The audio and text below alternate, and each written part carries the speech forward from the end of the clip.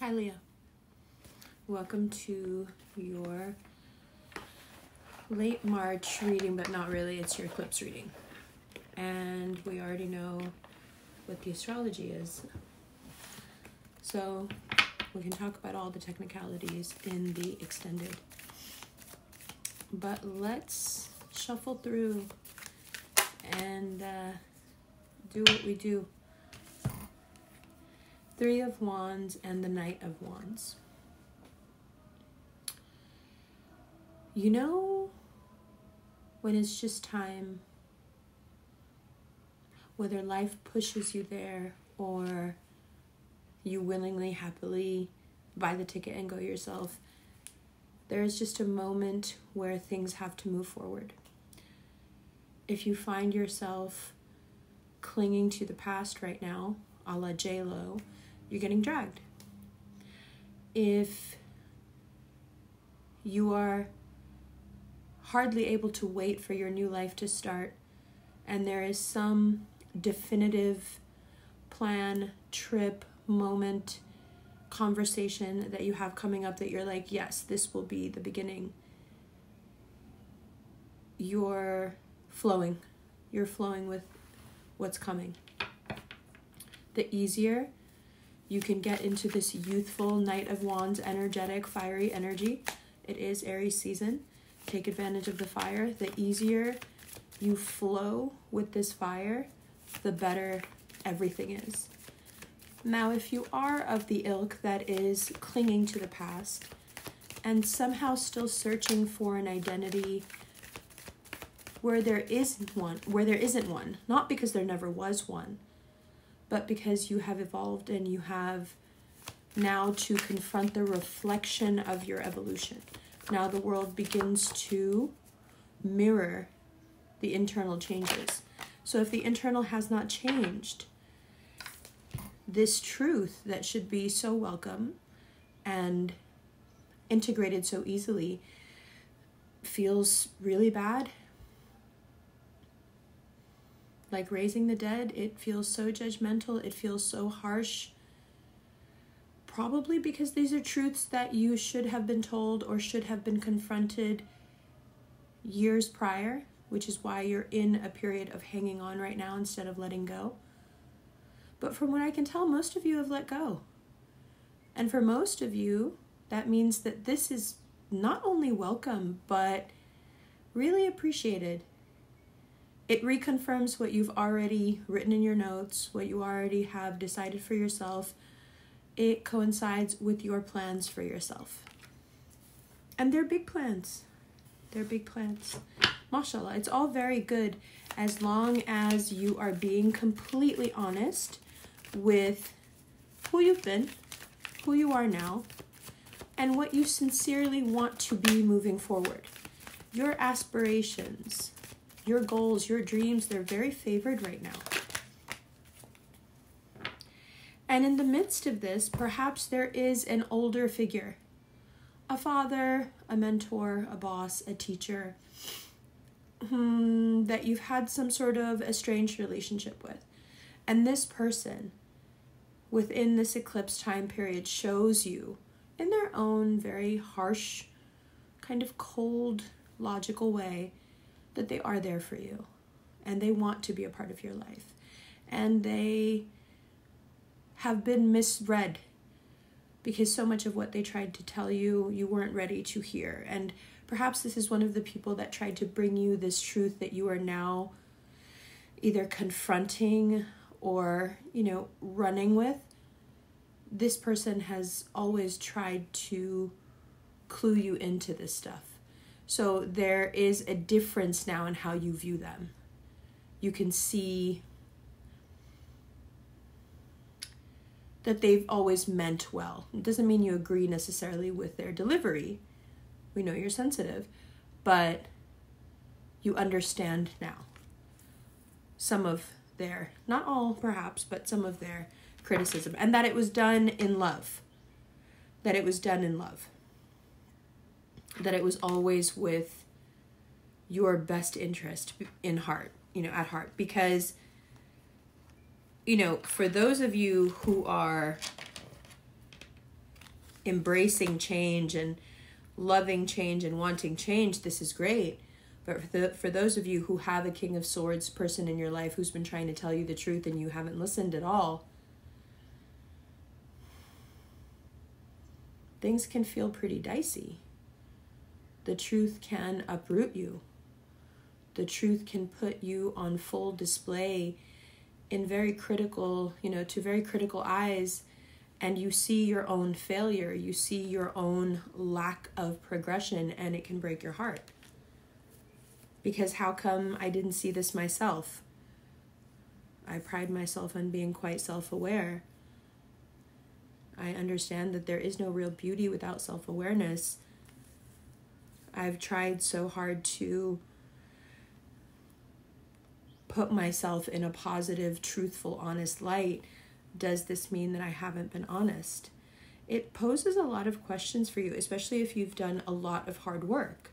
It can feel like so much of your hard work was for nothing because you may have been well intentioned this whole time. You may have worked hard in the direction that you thought was best this whole time. So now to be treated like everything you did was disingenuous and insincere, it's hurtful. There are a lot of you who are like, no, I don't want to go with the flow right now. Thank you. You know, the flow is making me feel like I have to negate so much of my life.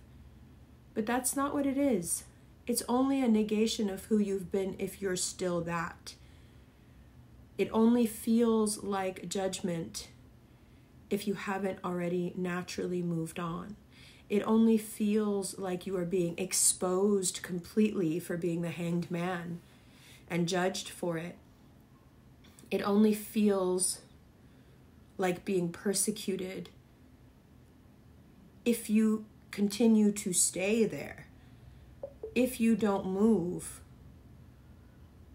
this hurts more and more and more. And yes, of course, there's something to be said for I put a lot of work into this and who I am. And I don't see why I should be expected to change. Think of it more as evolution. Think of all the work you've done up until now not as being done in vain, but further down the line somewhere in your evolution, they those hours, those days where you were swimming in the wrong direction, they're going to come in handy. So put them away for now. They're not for nothing. But you can't stick to something just because you invested a lot in it. You got to cut your losses sometimes. And the important thing about these truths, these change of direction, this really healthy change of direction, is that it provides you with a much calmer life emotionally. You learn through this like glaring truth telling, you learn how to temper yourself. You learn how to put a gauge on your emotions. Because when you feel righteous, when you feel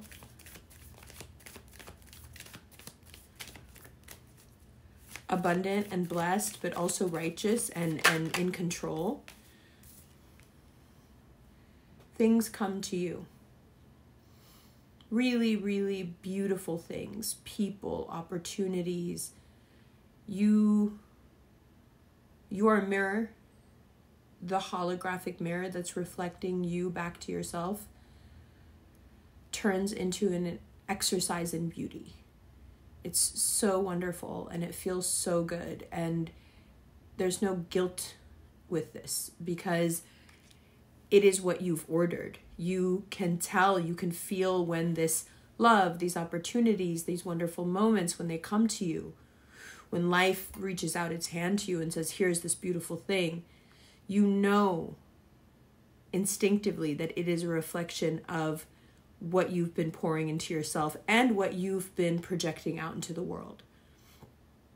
That's what I mean about don't stick to the work you've done in the wrong direction. It's okay. The passion that you acquired, the passion that you put into all that work, regardless of what direction it was in, it's still valid. You can turn things around whenever you want. and the universe responds instantly. So this eclipse may at first feel very disorienting, personal, unnecessary, you know, like really we it has to be like that? Really? That's a little harsh, you know? It can go from that to no, yeah, I needed to move on from that, or I need to evolve past that, or that's not true for me anymore. That's not true for me anymore. The truth of me is something much deeper. I'm too big for that small version anyway. Not only are you allowed to change, you are expected to grow. And it's beautiful. And it's worth the pain and uncomfy, the lack of comfortability, which is something we've spoken about in the past. But this is past being uncomfortable. This is for some of you, you know, this doesn't feel good, even though this is you. For some of you, this feels like an expose. For some of you, this is too harsh of a light. But the light is here and the light is shining on you, and you have to learn how to stand in it. It is Aries season after all. And underneath all this inner work, which you're such a big fan of, and I love this about you. Underneath this, there is an ambitious person as well who lives in the real world and has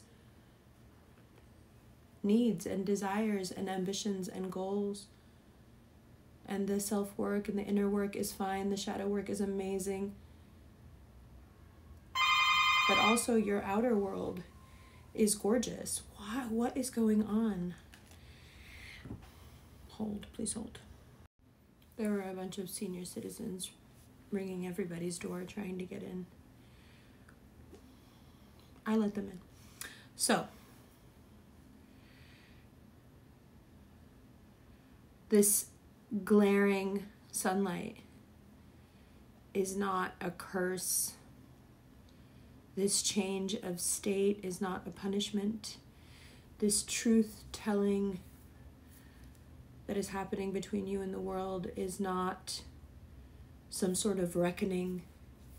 It's just time to move on and there is so much of the world that you perhaps would like to hold on to. Of course, you're a fixed sign, it makes sense. But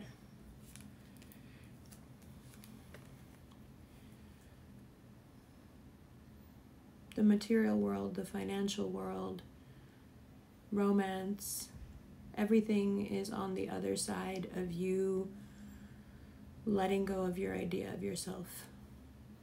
And with Leos, your idea of yourself is the most powerful motivator, is the most powerful generator.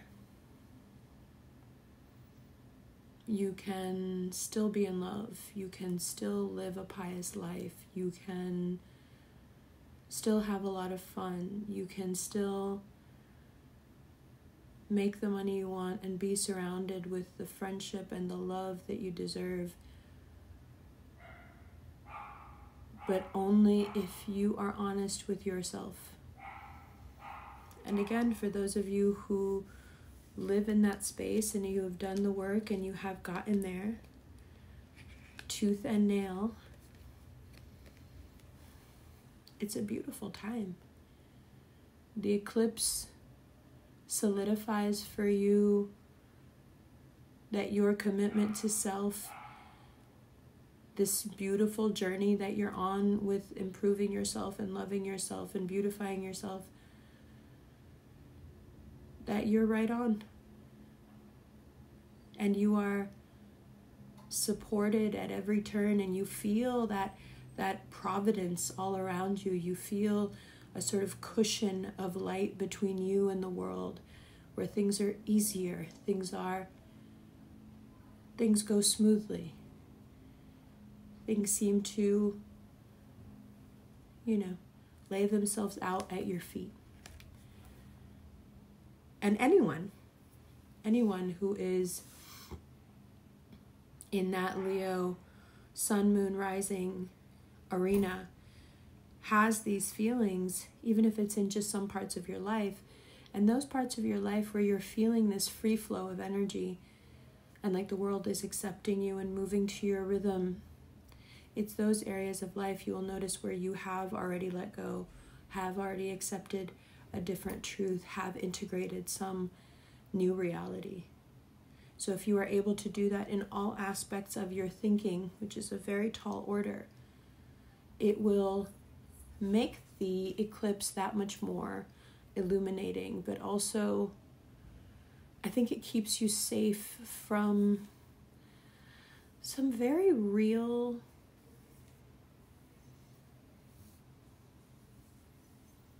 booby traps. You know, places where the floor falls in.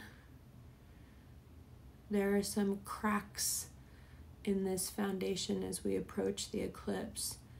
And if you put too much pressure on those cracks, they will cave. The point is to get out of the structure before it collapses, not lean into parts of it. So, extreme, but very happy, very positive. A lot of change, a lot of work, a lot of dedication required, but the payoff is absolutely glorious. The adventure alone after this eclipse, you know, you, you, you catch the bug. The new you wants to be out in the world and it feels good, it feels right. It feels like you're in control of what you present, what you give. It's not a situation where they're taking from you anymore. You're giving at your pace.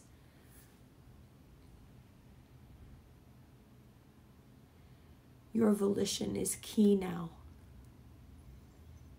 Only after this this change is accepted, integrated. You have to be happy about this. You have to find your way to be happy about who you are now. Because I suspect that you're getting closer and closer to who you were always meant to be. Which is a wonderful person that I love. I love you. Let's look at these cards.